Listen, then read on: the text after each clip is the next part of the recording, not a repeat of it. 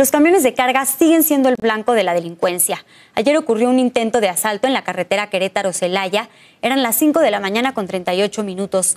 En el video se observa cómo una camioneta le cierra el paso a la unidad. Segundos después, un hombre armado baja del vehículo. Al ver que el camión no se detiene, huye hacia el acotamiento.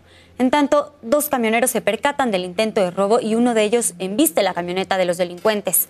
Así es como frustraron este asalto.